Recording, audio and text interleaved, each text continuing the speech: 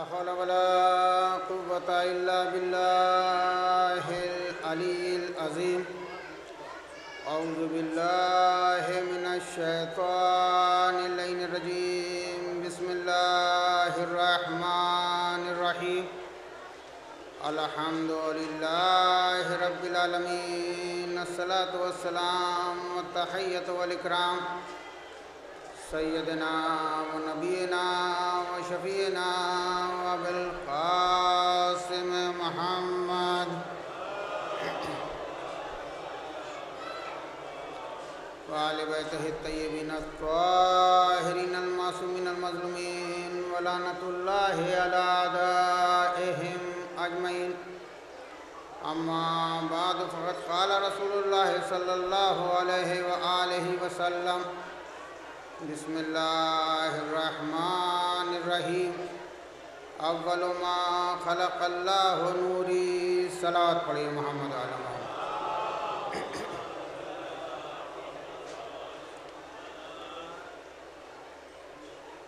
अजान मोहतरम, इससे कबल आपने बेहतरीन मजलिस खिताब समात फरमाई है। और ये वो बारगाह है जिसमें, जिसके ख़जाने में किसी चीज़ की कमी नहीं है। तो लेने वाला हो, वहाँ अता की कोई कमी नहीं है। ये तो वो हैं कि जब मौलाए कायनात से किसी ने हातिम ताई की सखावत का तस्करा किया, का मौला हातिम ताई बहुत सखी था। इमाम ने कहा, क्या सखावत थी उसकी? का एक एक साइल को चालीस चालीस दरवाजे से दिया करता था। इमाम ने फरमाया, ये भी कोई सखावत है। ये भी कोई सखावत है अरे एक ही दरवाजे से इतना क्यों ना दे दिया कि दूसरे दर पे जाने ही की ज़रूरत ना पड़े? सलात पढ़िए मोहम्मद आल मोहम्मद और सिर्फ़ मौला ने ये कहा नहीं था। करके दिखा दिया। इमाम सफ़र में जा रहे हैं। साहिल ने सवाल किया, या अली, मैं भूखा हूँ। अली ने कहा, कंबर इसे रोटी दे दो। कंबर ने कहा, या अली, रोटी गोंद में है। कहा, गोंद दे दो। का गोंद ऊँट पर है। कहा, ऊँट दे दो। का ऊँट कतार में है। कहा, कतार दे दो। बस जैसे ही कहा, कतार दे दो। कंबर ऊँट की पूछ से कूद पड़े। का कंबर क्यों उतरे? का मौला, मैं ये देख रहा हूँ कि मेरा मौला जोशे सखावत में है। अगर मैंने ये कह दिया, ऊँट की पूछ में मैं हूँ, कहीं आप ये न कह दे कि कंबर तुम भी चले जाओ। सलावत पढ़िए मोहम्मद वाले मोहम्मद पर। तो मोहतरम यो सखी की बारगाह जिसकी बारगाह में कोई कमी वाकई नहीं होती। शर्त यह है कि तलब करने वाला होना चाहिए। मांगने वाला होना चाहिए, अता की कोई कमी नहीं। तो इस बारगाह में आइए तो खुलूस से आइए। खुलूस नीयत से इस बारगाह में दुआ कीजिए तो बारगाह इलाही में दुआ कबूल होती है इनके सदक़े में। और हमारी आपकी औकात क्या है? अंबिया की दुआ इनके सदक़े में कबूल हुई। आदम आदम ना बने जब तक ये ना हुए। नू ना नू ना बन सके जब तक ये ना हुए। इनके सदक़े में दुआएँ कबूल हुई तो अजान मोहतरम मैंने पैगंबर इस्लाम की जिस मशहूर मरूफ हदीस मुबारक को अपना सरनामा कला, कलाम करार दिया है। बहुत ही मशहूर मरूफ फ़िक्रा है अल्लाह के रसूल का। अव्वलमा खलक अल्लाह नूरी। अल्लाह ने सबसे पहले मेरे नूर को खल किया। अल्लाह ने सबसे पहले मेरे नूर को खल किया। अजान मोहतरम, ये फ़िरका, फ़िक्रा इशात फरमाने के बाद पैगंबर खामोश नहीं हुए। दूसरा फ़िक्रा इशात फरमाया, अव्वलमा खलकल्लाहुल अल्लाह ने सबसे पहले कलम को खल किया। फिर आपने इर्शाद फरमाया अव्वलुमा खलक इल्म। अल्लाह ने सबसे पहले इल्म को खल किया, फिर आपने इर्शाद फरमाया, अवलमा खलक अक्ल। अल्लाह ने सबसे पहले अक्ल को खल किया। अजान मोहतरम, अजीब व गरीब फ़िक्रे अल्लाह के रसूल ने इरशाद फरमाया, हर फ़िक्रे से पहले ये कहा, अल्लाह ने सबसे पहले खल किया। नूर की बात आई तो कहा, अल्लाह ने सबसे पहले मेरे नूर को खल किया। अक्ल की बात आई तो अल्लाह ने कहा, सब अल्लाह ने सबसे पहले अक्ल को खल किया। कलम की बात आई तो पैगंबर ने फरमाया, अल्लाह ने सबसे पहले कलम को खल किया। इल्म की बात आई तो पैगंबर ने फरमाया, अल्लाह ने सबसे पहले इल्म को खल किया। भाई, इन चारों चीज़ों में से कोई एक शय तो होगी जिसे अल्लाह ने पहले खल किया होगा। इन चारों चीज़ों में से कोई एक शय तो होगी जिसे अल्लाह ने पहले खल किया होगा। भाई, चारों चीज़ों के लिए अल्लाह का रसूल इर्शाद रहा है कि अल्लाह ने सबसे पहले खल किया। अल्लाह ने सबसे पहले खल किया। कौन रसूल? जिसे कुफारों मुशरकिन ने अल्लाह का नबी नहीं माना। अल्लाह का रसूल नहीं माना, लेकिन सादिक भी माना, अमीन भी माना। या लफ्ज बदल के यूँ कहूँ कि जिन कुफारों, मुशरकिन ने पैगंबर की रिसालत रिसालत नबुवत का कलमा नहीं पढ़ा, वो कुफारों, मुशरकिन पैगंबर की सदाकत का कलमा भी पढ़ रहे थे, पैगंबर की अमानत का कलमा भी पढ़ रहे थे। सलाम पढ़िए मोहम्मद वाले मोहम्मद पर।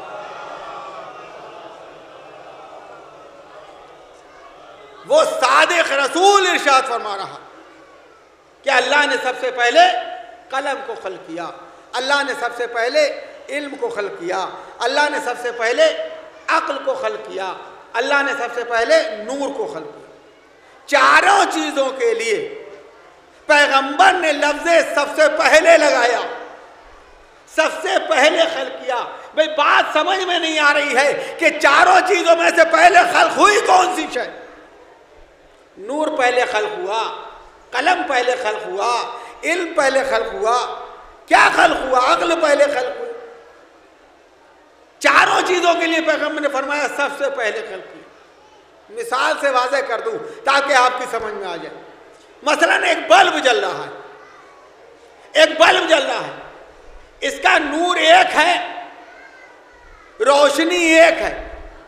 इस बल्ब के एक साइड में आप हरी पन्नी लगा दिए, दूसरी साइड में लाल पन्नी लगा दीजिए तीसरी साइड में सफ़ेद पन्नी लगा दीजिए चौथी साइड में पीली पन्नी लगा दीजिए नूर एक है, रोशनी एक है, एक रुख से देखेंगे तो लाल रोशनी नज़र आएगी, दूसरे रुख से देखेंगे तो पीली रोशनी नज़र आएगी, तीसरे रुख से देखेंगे तो सफ़ेद रोशनी नज़र आएगी, चौथे रुख से देखेंगे तो हरी रोशनी नज़र आएगी। नूर एक रोशनी एक, जिस रुख से देखा, वो शय नज़र आई। जिस नज़र से देखा, वो चालक शय नज़र आई। बस अजान मोहतरम, नूर खुदा एक था, नूर खुदा एक था। जैसी नज़र थी, वैसी शय नज़र आई। अनवार मुकदसा ने देखा तो नूर नज़र आया। कातिबों ने देखा तो कलम नज़र आया। आलिमों ने देखा तो इल्म नज़र आया। आकलों ने देखा तो अकल नज़र आई। सलावत पर मोहम्मद मोहम्मद। शय एक थी जैसी नज़र वैसी शय नज़र आई सलावत पड़े मोहम्मद आल मोहम्मद पर। देखिए एक ऐसी सलावात पढ़िए ताकि सोने वालों की नींद टूट जाए।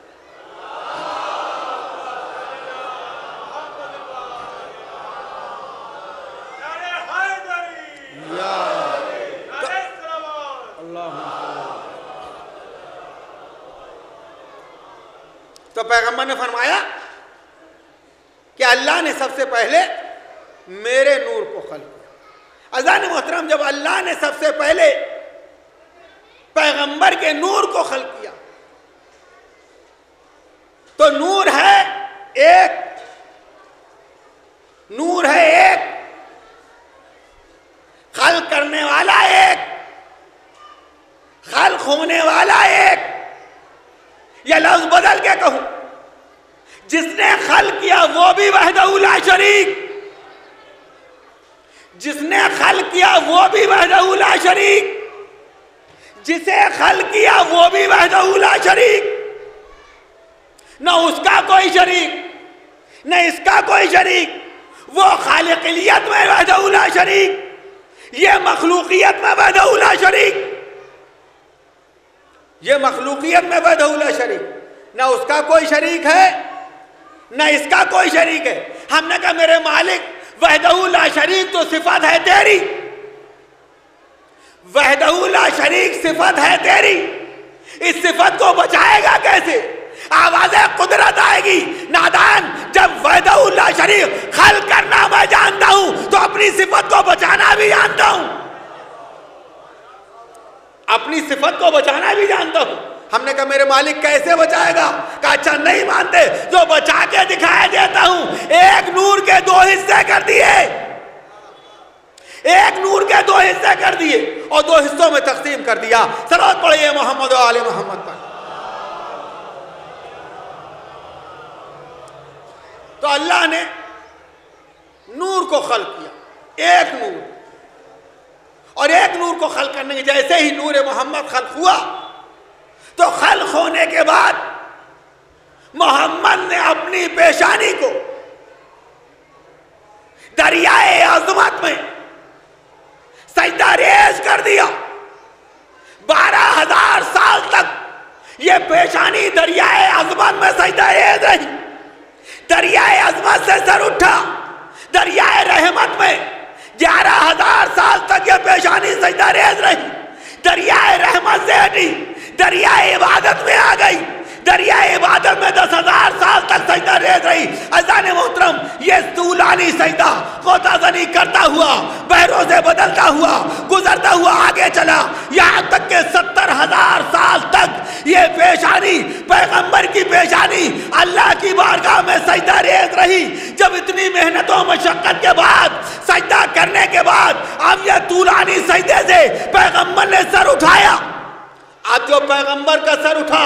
अजान मोहतरम, इस मेहनत और मशक्क़त के मेहनत और मशक्क़त और तूलानी संजदे के बाद अब जो पेशानी सजदे से उठी तो इस मेहनत और मशक्क़त के नतीजे में कुछ पसीने के कतरे पेशानी के, पेशानी पर उभरे, जैसे ही पेशानी रिसालत पर कुछ पसीने के कतरे उभरे, अल्लाह ने आवाज़ दी, ए मेरे हबीब, तुमने इतनी मेहनत और मशक्क़त से इतना तूलानी सजदा किया, उसके नतीजे में इतनी मशक्क़त के नतीजे में तुम्हारी पेशानी से कुछ पसीने के कतरे उभरे हैं तो इस पसीने के कतरे को रहेगा न जाने दूँगा।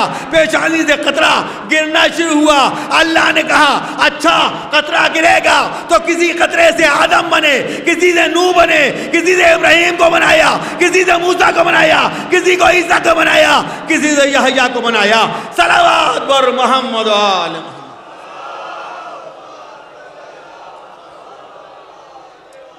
एक लाख तेईस हज़ार नौ सौ निन्यानवे अम्बिया पैगंबर की पेशानी के उभरे हुए कतरे का नतीजा।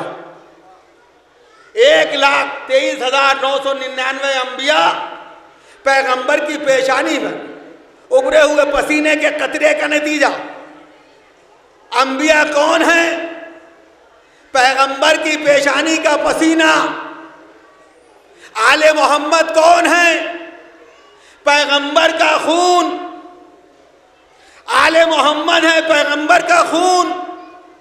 अंबिया है, पैगंबर का पसीना।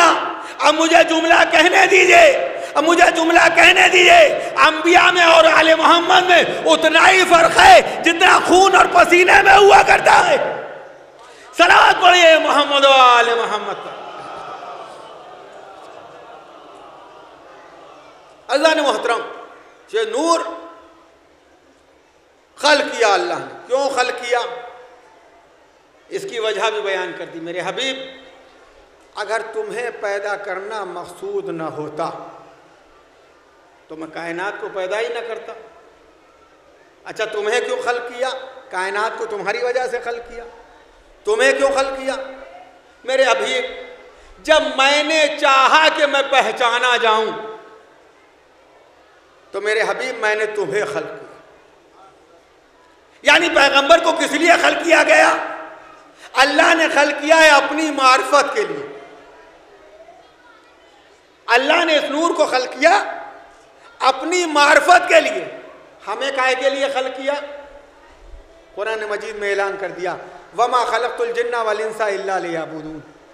हमने इंसानों और जन्नातों को नहीं पैदा किया। अगर पैदा किया है तो अपनी इबादत के लिए। हमारी खिलकत का मकसद है इबादत परवरदिगार। इनकी खिलकत का मकसद है मार्फत परवरदिगार।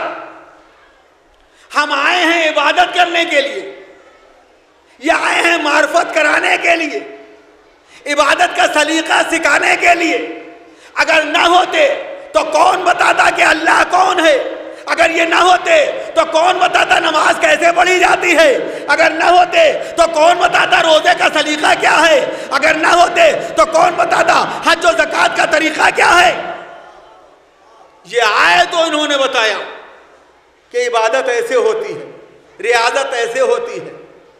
ये आइए ना होते तो कुछ ना होता। तो अजान मोहतरम अल्लाह ने खल किया इन्हें अपनी मार्फत के लिए। नूर खुदा मार्फत के लिए खल किया। नूर खुदा हुआ मार्फत इलाही के लिए खल।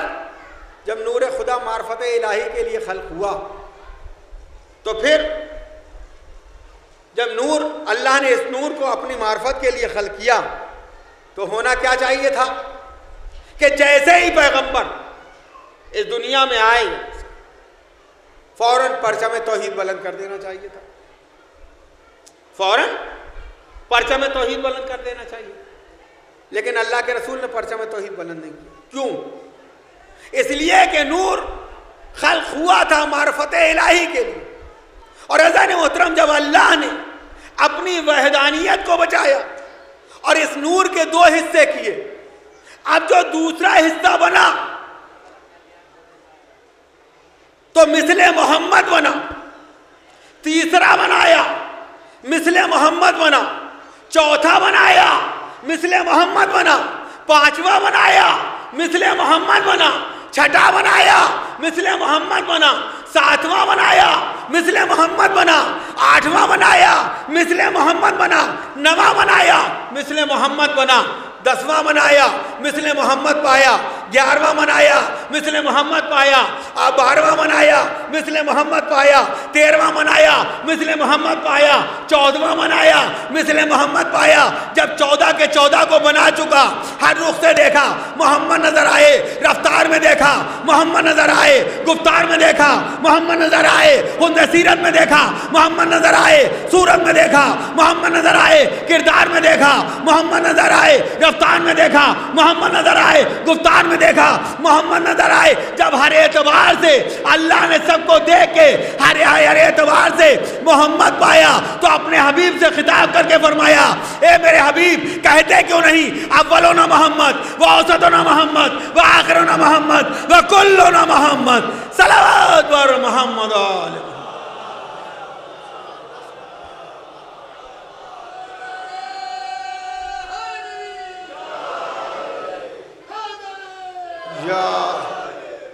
हर एतबार से मोहब्बत पाया। हर एतवार से मोहम्मद पाया। रफ्तार में हम मोहम्मद, गुफ्तार में मोहम्मद, यही तो वजह थी कि शायर ने कहा, अक्सर दर अहमद पे ये जिब्रील ने सोचा। अक्सर दर अहमद पे ये जिब्रील ने सोचा, पैगाम किसे दूँ कि ये सारे हैं मोहम्मद? सलात पढ़े मोहम्मद आल मोहम्मद।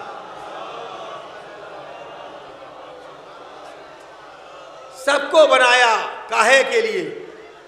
इंसानों की हिदायत के लिए। और इंसानों की हिदायत के बाद अल्लाह ने ऐलान किया है, मेरे बंदो, परेशान न होना।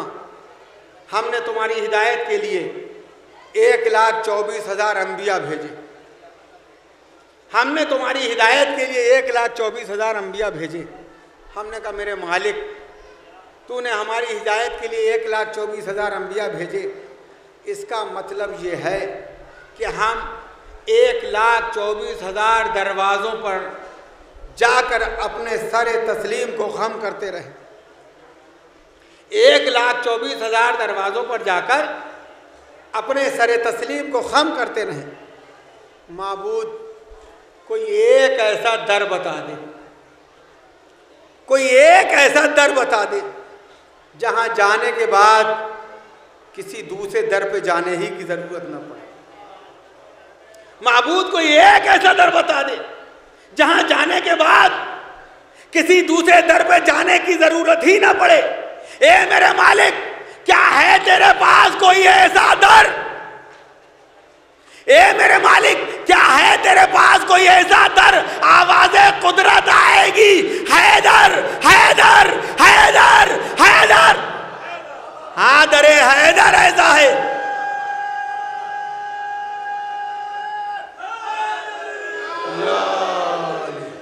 दर हैदर ऐसा है जहाँ जाने के बाद फिर किसी दर पे जाने की ज़रूरत ही फिर किसी दर पे जाने की ज़रूरत ही नहीं है। तो अजान मोहतरम अल्लाह ने इनको अपनी मार्फत के लिए बनाया। और जब मार्फत के लिए बनाया सबसे पहले खल किया सबसे पहले। भेजा सबसे आखिर में। भेजा सबसे आखिर में। खल सबसे पहले किया। और ये नूर असलाब ताहिरा और अरहा में मुताहरा में गोताजनी करता हुआ ये नूर सुलब अब्दुल मुत्तलिब पे आकर जा रुका। और सुलब अब्दुल मुत्तलिब पर आने के बाद ये नूर दो हिस्सों में तकसीम हो गए। एक नूर का हिस्सा सुलब अबू तालिब में पहुँचा। एक नूर का हिस्सा सुलब अब्दुल्ला में पहुँचा। सुलब अबू तालिब से मौलाए कायनात का जहूर हुआ। सुलब अब्दुल्ला से पैगंबर इस्लाम का जहूर हुआ। इस नूर को अल्लाह ने इस तरह से तकसीम कर दिया कि एक को आफ्ताब रिसालत बनाया तो दूसरे को महताब इमामत बनाया। एक को रसूल बनाया तो दूसरे को इमाम बनाया एक को नबी बनाया तो दूसरे को वली बनाया एक को मुहाफिज, एक को बानी इस्लाम बनाया तो दूसरे को मुहाफिज इस्लाम बनाया इस तरह से अल्लाह ने इस नूर को तकसीम कर दिया। अब पैगंबर इस्लाम आए दुनिया में। आने के बाद चालीस साल तक अल्लाह के रसूल ने खामोश ज़िंदगी गुजारी। मैं कहूँगा, या रसूलुल्लाह, अल्लाह ने आपको खल किया है, आपके नूर को खल किया है, अपनी मार्फत के लिए। तो आपकी पहली ज़िम्मेदारी यह है कि आप आते ही परचम तोहीद को बुलंद कीजिए। परचम तोहीद को बुलंद कीजिए। ये चालीस साल खामोशी कैसी? ये चालीस साल खामोशी कैसी? आपका ज़िम्मेदारी है कि परचम तोहीद को बुलंद करना। इसलिए कि आप आए हैं मार्फत इलाही कराने के लिए। आवाज़ रिसालत आएगी। नादान बेशक सही है। अल्लाह ने मेरे नूर को अपनी मार्फत के लिए खल किया था, लेकिन आधा नूर खल नहीं किया था। नूर मुकम्मल खल किया था। जब तक नूर का दूसरा हिस्सा आ ना जाएगा, परचम तो ही बुलंद ना किया जाएगा। सलाद पढ़े मोहम्मद मोहम्मद।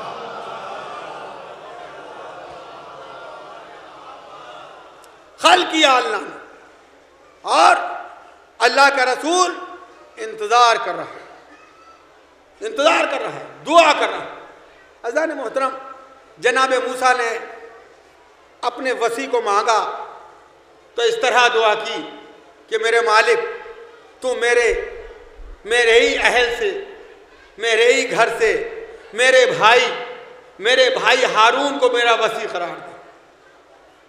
का मेरे घर से, मेरे अहल से, मेरे भाई हारून को मेरा वसी करार दे।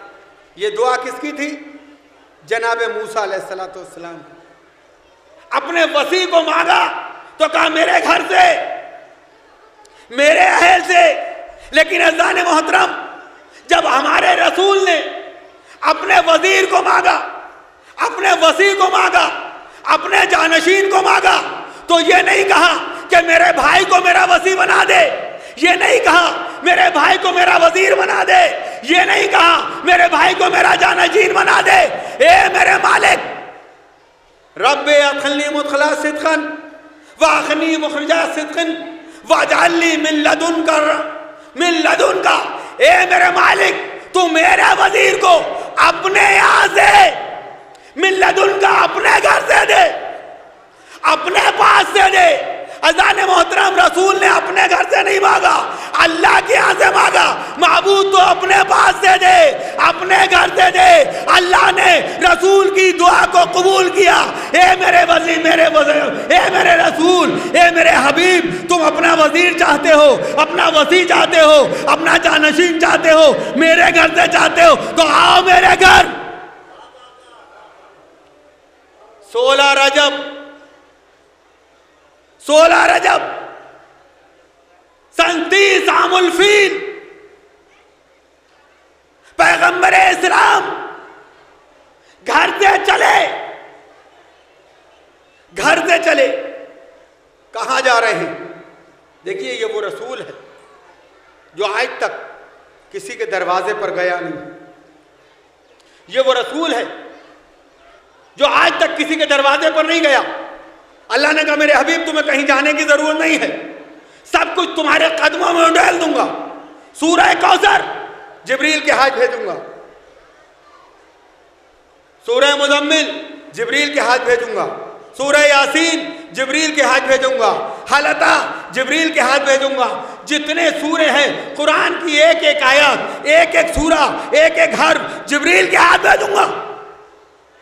मेरे हबीब, तुम्हें कहीं जाने की ज़रूरत नहीं। और हबीब कहीं नहीं गया। सिवाय तीन जगह के। अल्लाह का रसूल कहीं नहीं गया। सिवाय तीन जगह के। या अली को लेने के लिए खाना काबा में आया, या फातिमा को लेने के लिए मेराज की बुलंदी पर गया, या खदीजा को लेने के लिए उसके घर पहुँचा। सलावत पर मोहम्मद मोहम्मद। चौजान मोहतरम इंतज़ार कर रहे सोलह रजब को आए। आने के बाद खड़े हो गए। फातमा बिनते असद, खाना काबा में कयाम पजीर। वक्त आया। दीवार काबा दोबारा शक हुई। मादर अली अपने फर्जन को लेके बाहर निकली। बाहर निकली। जैसे ही रसूल ने अपने वज़ीर, अपने भाई को देखा, हाथों को फैला दिया, चची जान, मेरे भाई को मुझे दे फातिमा बिनते असद ने यह कहते हुए रसूल के हाथों में दे दिया, बेटा मोहम्मद, ये अजीब व गरीब तरह का बच्चा है। कहा चचियान क्या हुआ? तो पहली बात यह है कि बच्चा पैदा होने के बाद रोता है। यह अब तक रोया नहीं। दूसरी बात यह है कि अब तक इसने दूध नहीं पिया। तीसरी बात यह है कि अब ये बच्चा नाबीना मालूम देता है। अब तक इसने आँखें नहीं खोली। रसूल ने कहा, लाइए मेरे भाई को मुझे दिए। जैसे ही मुशाम अली में रसूल की खुशबू पहुँची इधर खुशबू रिसालत पहुँचना थी। पैगंबर ने आँखों को खोला। सबसे पहली नज़र चेहरे रिसालत माप पे डाली हाथों को फैला दिया। लिपट गए। और अजान मोहतरम, उसके बाद पैगंबर इस्लाम ने अपनी ज़बान अली के दहन में दे दी। अपनी ज़बान अली के दहन में दे दी। पहली गज़ा अली की लुआब दहन रसूल अपनी जबान अली के दहन में दे दी। अब जबान का जुमला है ना मालूम, आप कैसे सुनेंगे? अली की जबान अली के दहन में अपनी जबान दे दी। अब मुझे ये नहीं मालूम कि आज जबान दे कौन रहा है। जबान ले कौन रहा? सलाद पढ़िए मोहम्मद वाले मोहम्मद पर। ये रसूल। तीस साल तक इंतज़ार करते हैं मैं कहूँगा, या रसूल्ला आप इंतज़ार किसका कर रहे हैं? किसका इंतज़ार कर रहे हैं? किसका इंतज़ार कर रहे हैं? अल्लाह का रसूल जवाब देगा पहले इमाम का। या रसूल इंतज़ार क्यों? शायद अल्लाह का रसूल जवाब दे, नादान एक वक्त आएगा कि लोग इंतज़ार को बिदत करार दे देंगे। लिहाजा इमामत के इंतज़ार करके बता रहा हूँ कि फ़र्क इतना है कि पहले का मैं इंतज़ार कर रहा हूँ, आखिर का तुम इंतज़ार करोगे। इंतज़ार करना सुन्नत रिसालत है, बिदत नहीं है। सलावत पर मोहम्मद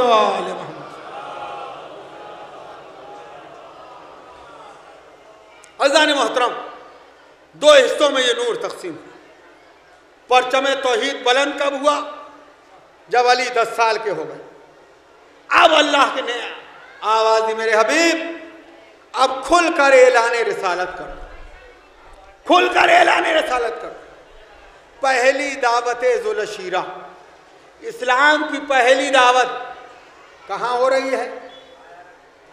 देखिए मक्के में अल्लाह का घर भी है। मक्के में अबू तालिब का घर भी है। मक्के में अल्लाह का घर भी है। मक्के में अबू तालिब का घर भी है। इस्लाम की पहली दावत कहाँ से शुरू होना चाहिए थी? इस्लाम की पहली दावत कहाँ से शुरू होना चाहिए थी? अल्लाह के घर से। इस्लाम की पहली दावत अल्लाह के घर से शुरू होना चाहिए थी। लेकिन अल्लाह के घर से शुरू नहीं हुई। पहली इस्लाम की दावत अबू तालिब के घर से शुरू हुई। भाई, अल्लाह के घर से या रसूल्ला क्यों ना शुरू की? अबू तालिब के घर से क्यों शुरू की? का इसलिए नहीं की कि अल्लाह के घर में बुत रखे थे? अल्लाह के घर में बुत रखे थे। इससे यह तो पता चला, इस्लाम की दावा वहाँ से शुरू होगी, जहाँ बुत ना हो।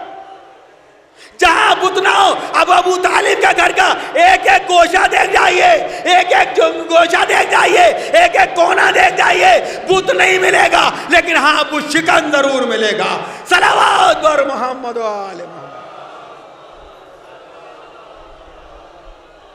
बस अजान मोहतरम। तो रिसालत ने इंतज़ार किया इमामत का। चालीस साल के बाद ऐलान रिसालत हुआ। और कब हुआ? जब अबू तालिब ने कहा, मेरे बेटा मोहम्मद, अब तुम खुल कर ऐलान रिसालत करो। हम तुम्हारी पुष्पनाई करेंगे। हम तुम्हारी हिफाजत करेंगे। अगर तुम्हारी तरफ़ कोई निगाह उठा के देख लेगा तो हम उसकी निगाह सलामत न रखें। अबू तालिब के घर में इस्लाम की दावत शुरू। यहीं से वो कुफ़ार मशरकिन जो पैगंबर को सादिक कह रहे थे, अमीन कह रहे थे, पैगंबर के दुश्मन होना शुरू हो गए। लेकिन अजान मोहतरम, सवाल ये पैदा होता है, पैगंबर ने जो सदाकत और अमानत का कलमा पढ़वाया, क्या जब दुश्मन हो गए थे तो क्या यह पैगंबर को सादिक नहीं मान रहे थे? दुश्मनी के बाद पैगंबर को अमीन नहीं मान रहे थे? नहीं, दुश्मनी के बाद भी, कत्ल पर आमादा होने के बाद भी पैगंबर को सादिक भी मान रहे थे और अमीन भी मान रहे थे। क्यों? कितना सादिक मान रहे थे? कि एक मरतबा मक्के का चौधरी अबू सुफियान अपने शिकारी कुत्तों को लेकर आया। शिकारी कुत्तों को लेकर आया और घर से अबू जहल को उठाया। अबू जहल को उठाने के बाद जंगल में ले गया। एक गढ़ा खोदा। गढ़ा खोदने के बाद अबू जहल को आधा गाड़ दिया और आधा गाड़ने के बाद कहा, ए अबू जहल, मैं तुझसे एक सवाल करना चाहता हूँ। अगर तूने सही जवाब दे दिया तो सही, और सही जवाब न दिया तो मैं शिकारी कुत्तों को छोड़ दूँगा। तेरी एक एक बोटी करके खा जाएँगे। अबू जहल ने कहा, बता, क्या सवाल है? का सवाल यह है कि मोहम्मद ने जो अपनी नबूवत और रिसालत का ऐलान किया है, ये बता ये ऐलान सही किया है या गलत? अबू जहल ने कहा ये सवाल करने से पहले, तू मेरे ऊपर ये शिकारी कुत्ते छोड़ देता और ये मेरी बोटी बोटी करके खा जाते तो मुझे इतनी तकलीफ़ ना होती जितनी तकलीफ़ तेरे इस सवाल से हुई। का सही बात बता, बात क्या है? का सुनना चाहता है तो सुन देखिए कितना यकीन था कुफारों, मशरकीन और जानी दुश्मन को पैगंबर की सदाकत पर। कितना यकीन था। जानी दुश्मन है अबू जहल अबू सुफियान। और अबू जहल ने क्या कहा? क्या सुनना चाहता है तो सुन। मुझे अपने बेटे अक्रिमा के हलाली होने में तो शक है। मोहम्मद की नबुवत और रिसालत में शक नहीं है।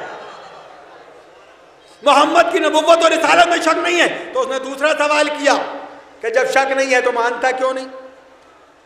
जब शक नहीं है तो मानता क्यों नहीं? कमान इसलिए नहीं रहा हूँ कि ये मोहम्मद बनी हाशिम में क्यों पैदा हुए? मेरे घर क्यों ना पैदा हुए? ये फजीलत बनी हाशिम को क्यों मिली? तो अजान मोहतरम, पैगंबर से जो दुश्मनी थी, पैगंबर से जो दुश्मनी थी, ये हसद की बुनियाद पर थी। हसद की बुनियाद पर, इन फजीलतों की वजह से। तो अजान मोहतरम, पैगंबर आ गए ऐलान रिसालत कर दिया। इसकी हिफाजत की ज़िम्मेदारी अबू तालिब ने ले ली। अबू तालिब ने ले ली। जब अबू तालिब जाने लगे तो इस पर हिफाजत की ज़िम्मेदारी दो लोगों की सुपुर्द एक फातिमा, एक अली। दीन इस्लाम की हिफाजत भी करना है, रिसालत की हिफाजत। जब रिसालत इस दुनिया से चले गए, रसूल इस दुनिया से चले गए, अब फिर ज़िम्मेदारी संभालना थी। तो अली ने ये ज़िम्मेदारी दो लोगों की सुपुर्द कर दी। एक का नाम अब्बास, एक का नाम जैनब। एक ही वक्त में फ़र्जंद रसूल की भी हिफाजत। एक ही वक्त में, एक ही वक्त में इस्लाम को भी बचाना। और इस तरह इस्लाम को बचा के ले आए दोनों बहन भाई। क्या आज तक दुनिया के गोशे गोशे में इस्लाम का नारा बुलंद हो रहा? अल्लाह अकबर की सदाएँ बुलंद हो रही हैं। यही तो वजह थी। किसी ने रास्ते में हमारे चौथे इमाम से पूछा था, मौला, ये बताइए, करबला में जीता कौन और हारा कौन? तो इमाम ने ये नहीं कहा था कि हम जीते। इमाम ने ये नहीं कहा था, मेरा बाबा जीता। इमाम ने फरमाया, जाओ, मस्जिदों में जाके देखो। अगर अल्लाह अकबर की सदा बुलंद है तो मेरा बाबा जीता। अगर तकबीर की आवाज़ नहीं आ रही है तो यकीन जीता। इस तरह इस्लाम को बचा के लाए हैं बहन और भाई। हाँ अजादारों आज पंचम्बा है। आज की शब शब जुमा कहलाती बस एक रिवायत और आपकी जहमत तमाम। करबला वालों की मुसीबतें असर आशूर ख़त्म हो गई। लेकिन कोई अंदाज़ा लगा सकता है कि असीरान करबला की मुसीबत कब ख़त्म हुई? इन्हें जी भर के पानी पीने को कब मिला? इन्हें पेट भर के खाना खाने को कब मिला?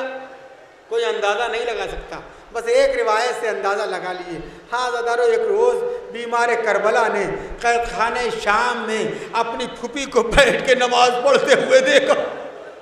बीमार तड़प गया।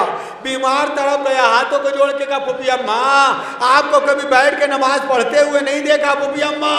आज आप बैठ के नमाज़ क्यों पढ़ रही हैं? जैनब ने फरमाया, मेरे लाल मेरे लाल, यजीद की तरफ़ से खाना और पानी इतना कम आता है कि बच्चों के लिए नाकाफी हो जाता है। मैं अपने हिस्से का खाना और पानी इन बच्चों को खिला दिया करती हूँ। हे मेरे लाल अब तेरी पुपी में इतनी ताकत नहीं है कि खड़े हो के नमाज़ पढ़ सके। खुदा आपको किसी गम में नज़र लाए। सवाए गम सैद शोदा के। अजादार पंचम्बे की एक रिवायत, जो मुराद का दिन। एक अब्दुल्ला नामी शख्स का गुजर कैद खाने शाम की तरफ़ से हुआ। उसने असीरों को देखा। असीरों को देखने के बाद अपने घर आया। और अपनी जोजा से कहा, बीबी तो हर शब जुमा को अपने आका हुसैन की सलामती की नज़र दिलाती है और वो खाना यतीम मसीनों मस्किनों को खिला देती है। ये बीबी, इस खाने के सही मुस्तक मैं कैद खाने शाम में देख के आया हूँ। बीबी, जल्दी जल्दी खाना तैयार कर। हाँ ज़ादारों मोमिना ने खाना तैयार किया। खाना तैयार करने के बाद हुसैन की सलामती की नज़र हुई और सलामती की नज़र के बाद वो खाना खान में रखा गया। खान को अब्दुल्ला ने अपने सर पे रखा लेके कैद खाने शाम की तरफ़ चला। अजादारों चंद कदम चला था कि अब्दुल्ला फिर मुड़ा और अपनी जोजा से कहा, बीबी, वो कैदी ज़रूर मालूम देते हैं, वो भूखे ज़रूर मालूम देते हैं, वो अपने प्यासे ज़रूर मालूम देते हैं, लेकिन किसी शरीफ घराने से ताल्लुक मालूम देता है, कहीं ऐसा ना हो, मैं ना महरम हूँ, मेरे हाथ से खाना ना ले। ए बीबी मेरे साथ साथ चल। कैद खाए शाम कैद खाने शाम के दरवाजे तक मैं लेके चलता हूँ, अंदर तू लेके चली जा। हाँ आजादारों अब्दुल्ला खाने के खान को अपने सर पर रख के लाया। जब खाने शाम के दरवाजे पर आया तो उसने वो खान अपनी जोजा के सर पर रख दिया। जोज अब्दुल्ला उस खान को लेकर कैद खाने शाम के अंदर आई और जैनब के सामने खाना रख दिया।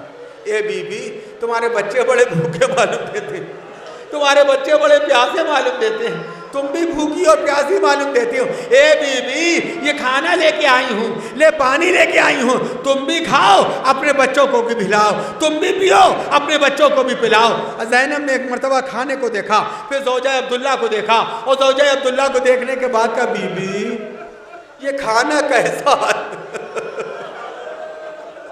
ये खाना कैसा है?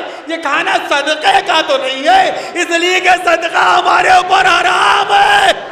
अदादारो सोचे अब्दुल्ला ने सुना तरफ़ गई। अरे सदका तो आले मोहम्मद पर आराम है। लेकिन जोजे अब्दुल्ला ने जब्त किया, और जब्त करने के बाद हाथों को जोड़ के बीबी, ये खाना सदक़े का नहीं है, खाना नज़र का खाना नज़र का जैनब ने पूछा, कैसी नज़र? किसकी नज़र? कहा, मैं अपने आका हुसैन की सलामती की नज़र दिलाती हूँ। हर शब जुमा को अपने आका हुसैन की सलामती की नज़र दिलाती हूँ। बीबी, और ये खाना यतीमों, असीरों, मस्किनों को खिला देती हूँ। आज मेरे शौहर ने कहा, इस खाने के सही हकदार कैद खाने शाम में देख के आया हूँ। लिहाजा नज़र का खाना आपकी खिदमत में लेके आई जैनब ने पूछा, किसकी नज़र? कहा, मेरे आका हुसैन का कौन हुसैन है जिसे तू अपना आका कहती है? भाई, जुमले का सुनना था सो जाए अब्दुल्ला की पेशानी पर शिकन आ गया। हाथों को जोड़ के कहा, बीबी, क्या तुम मुसलमान नहीं हो? अरे, ऐसा कौन मुसलमान है जो मेरे आका हुसैन को नहीं जानता? मेरा आका हुसैन रसूल का नवाजा है, फातिमा का लगते जिगर है, हसन का भाई है, अली का दिल भर है जैनब का दिल भराया। जैनब ने कहा अच्छा ये बता तो उस हुसैन की सलामती की नज़र दिलाती है जो रसूल का नवाजा कहाँ बेशक उसी हुसैन की सलामती की नज़र दिलाती कभी भी इतना बता, तेरा हुसैन से रिश्ता क्या तेरा हुसैन से ताल्लुक क्या तू ये नज़र क्यों दिलाती? जोजे अब्दुल्ला ने वाकया बयान किया, बीबी, मेरा बचपना था मैं बचपने में बीमार हो गई। सारे तबीबों ने जब लाइलाज करार दे दिया तो मेरा बाबा पैगंबर की खिदमत में लेके गया। अल्लाह के रसूल, मेरी बच्ची की शिफा के लिए दुआ कर दो। पैगंबर इस्लाम के पास पहुँचे ही थे। अभी ये जुमला कहा ही था कि घर से एक छोटा सा बच्चा चला। पैगंबर के जानू पे आके बैठ गया। पैगंबर ने फरमाया, बेटा हुसैन, इस बच्ची की शिफा के लिए दुआ कर दो। जोजे अब्दुल्ला ने कहा, बीबी, जब से मेरे आका ने मेरी शिफा के लिए दुआ की, आज तक मैं बीमार नहीं हुई। जब मेरा बाबा मुझे लेके चलने लगा तो पैगंबर इस्लाम ने फरमाया, भाई, जब तक तुम हयात रहना, हर शब जुमा को मेरे इस बेटे की सलामती की नज़र दिलाते रहना।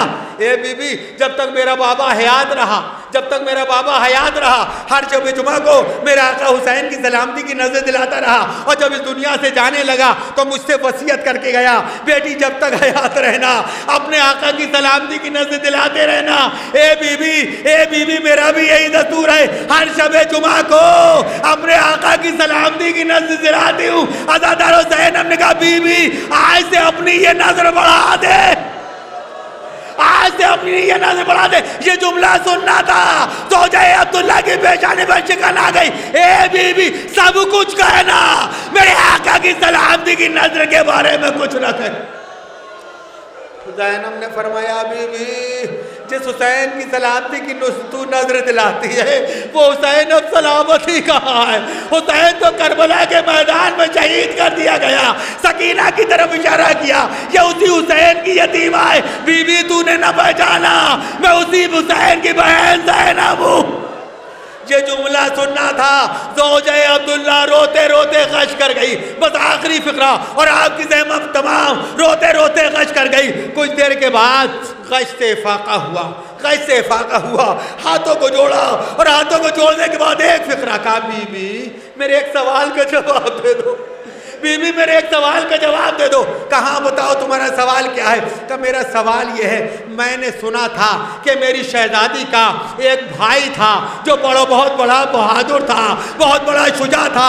उसका नाम अब्बास था। ए बीबी, इतना बता दो, कि अब्बास ने साथ छोड़ दिया।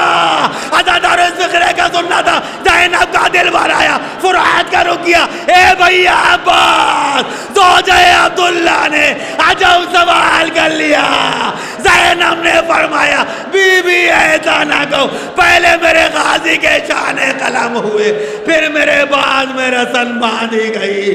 वाह हुसैना वालिया की सदैव इन्ना लिल्लाहि व इन्ना इलैहि राजिऊन।